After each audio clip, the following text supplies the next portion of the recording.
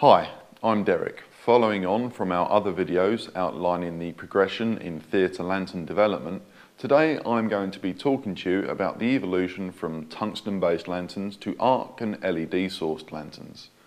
Perhaps the first thing to say is that these lanterns, or intelligent fixtures, do not require remote dimming. Instead, they require a standard 230 volt electrical supply in order to power them and a DMX data connection to control the lanterns. Here we have the first stage in the evolution from theatre lanterns, an LED PAR. It is recognisable as a traditional lantern with its shape based on a PAR 64, but has an array of red, green and blue LEDs in place of the tungsten lamp. The benefits of LED lanterns are that they use a lot less power than traditional lanterns. A PAR 64 uses 1000 watts, this one only uses 35. Also, by altering the intensity of the three colours, red, green and blue, you can create virtually any colour. This means that instead of needing three lanterns in different colours to create a traditional three colour wash, with LED lanterns you only need one.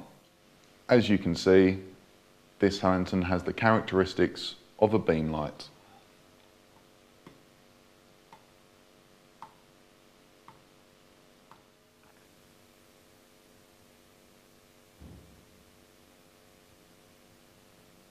Here we have yet another evolution in lantern technology, an LED batten. This time they have taken the job performed by a cyc flood and have adapted the LED technology in order to produce the same effect. Once again, the benefits of LED include using a lot less power. A traditional cyc flood would consume around 500 watts. This lantern consumes just 50. And once again, you can create pretty much any color you can imagine.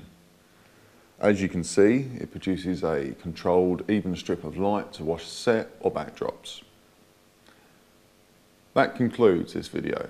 In the next one, we'll be talking about the next stage in development of the lantern technology, moving head lanterns.